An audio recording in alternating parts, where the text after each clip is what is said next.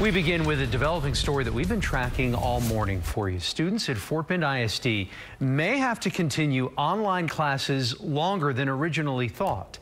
Good morning and thank you for joining us. I'm Andy Sirota. And I'm Lisa Hernandez. The school district's board of trustees have approved making that a reality, but the change still has to be approved by the state. Channel 2's Brittany Jeffers is live at district headquarters in Sugar Land with more. Brittany?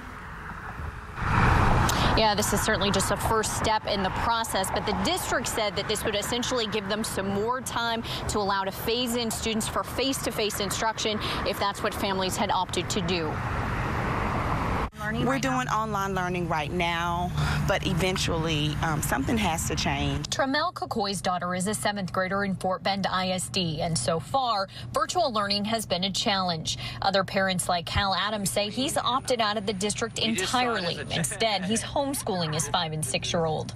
It was a little bit easier to break down, and it was a little less pressure on them to be on like Zoom all day.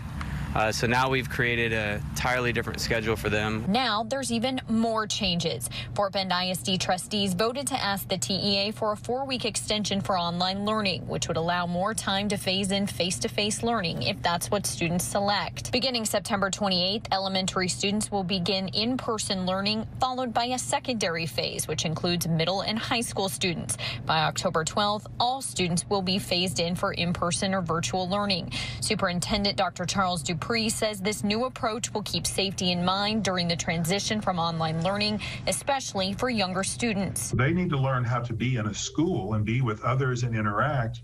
And now it's going to have to be with masks during a pandemic, but they also need to understand the health and safety protocols and they're going to need more time. As for Kokoy, she says her daughter will go back for in-person learning as soon as she can. I need her to go back to school. I need her to get that social interaction. I mean, it's very important for little ones.